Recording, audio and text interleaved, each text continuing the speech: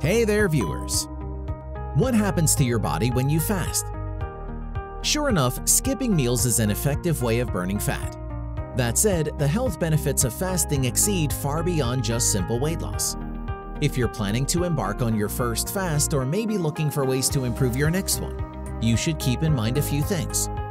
But first and foremost, you must learn the different stages of fasting. Doing so lets you prepare mentally and physically for what your body will undergo during the fast. We will discuss in detail each stage, along with what changes and benefits to expect. For instance, in the first 8 to 12 hours, you may be feeling hungry and tired. But then, once you get past those, your blood sugar starts stabilizing.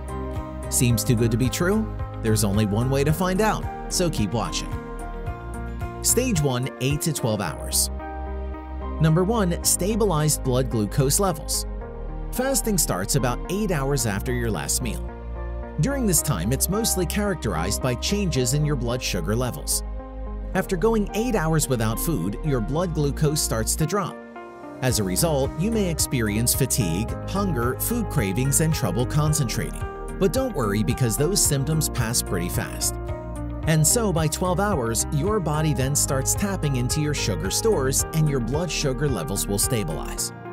In addition, at 12 hours, your body will start entering the early stages of ketosis. This means your body stops relying on carbs for fuel and instead burns body fat stores to remain functional. Short-term fasting can also help lower blood pressure and boost insulin sensitivity. Hence, this type of fasting is especially beneficial for those with type 2 diabetes or other blood sugar issues.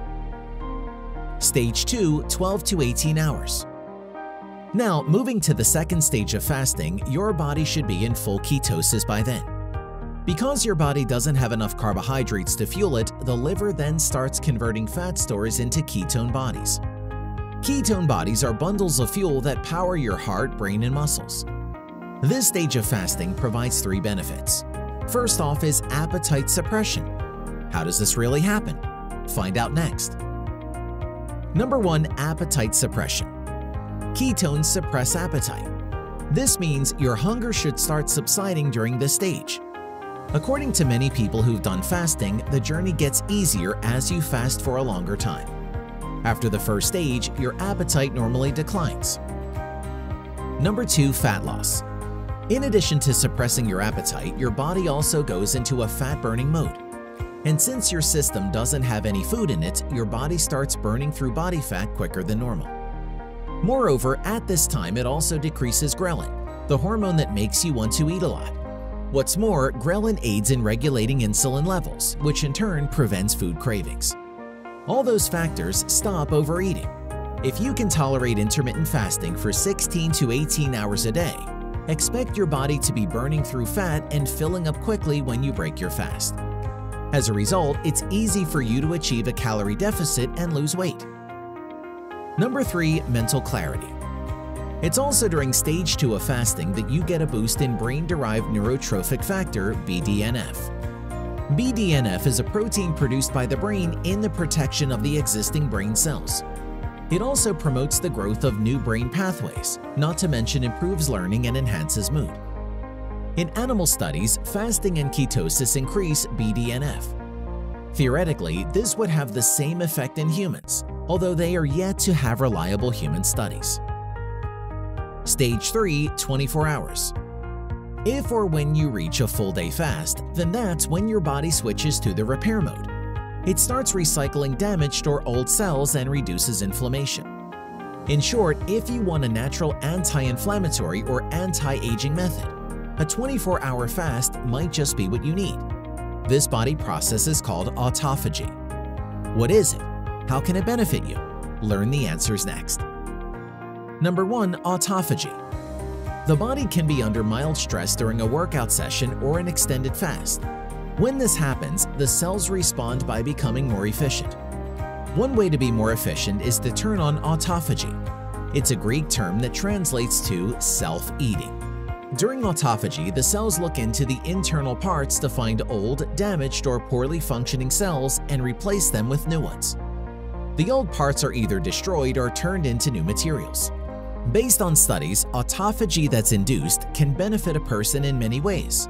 Such as by removing misfolded proteins linked to Alzheimer's disease, fighting age-related decline, keeping you biologically younger and protecting you against oxidative stress, helping eradicate cancer cells, reducing body-wide inflammation. Real quick, hit that like button and let's get back into it. Stage 4, 36 to 48 hours. At the fourth stage of fasting, your body is transitioning from intermittent fasting to a longer fast. As the body gets accustomed to the several days of fasting, the growth hormone levels start shifting. Ultimately, this leads to a new batch of benefits, say muscle growth and repair. Pretty awesome, huh? Let's not wait then and continue right away. Number 1. Muscle growth and repair. A study of healthy adults concluded that a person's growth hormone secretion can be increased by a whopping 400% if they do 48-hour fasting. The same fasting plan can also boost the frequency of growth hormone bursts throughout the day. HGH or human growth hormone enhances muscle mass and activates faster muscle repair. Furthermore, it can also accelerate the healing process of wounds and even more serious injuries. HGH is so potent and effective in developing muscles that taking it externally is banned in professional sports as it is considered doping. Although it can seem counterintuitive, occasional fasting for two days can help build muscle but the key here is to do it occasionally and never regularly. Stage 5 72 plus hours. If you've lasted three full days without food and only water, then congratulations, you've reached the final stage of fasting. Before you consider doing this, it's imperative to understand that a 72-hour fast is a very serious undertaking. If you proceed with it, you must drink lots of water, have plenty of electrolytes, and above all, stop fasting if you start feeling lightheaded or unwell. Number 1. Stem cells and immune function. Based on research, 72-hour fasting can result in a near-complete rejuvenation of the immune system.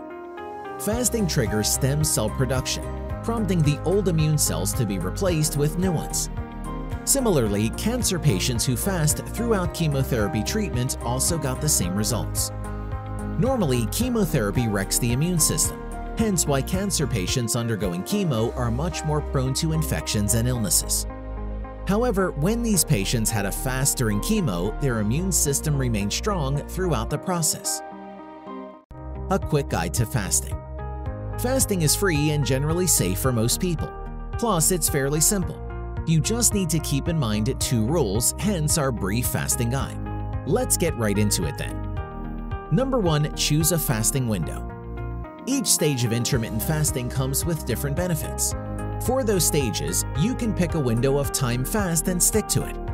But one of the common practices is the daily approach, which restricts daily eating to one 6 to 8 hour period each day. For example, you can try 16-8 fasting, or eating for 8 hours and fasting for 16 hours.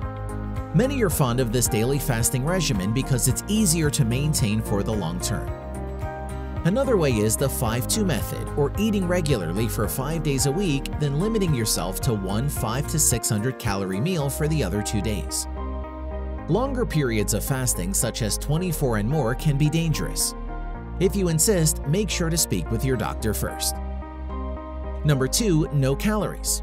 A true fast, or otherwise known as a water fast, includes zero calories during the fasting period.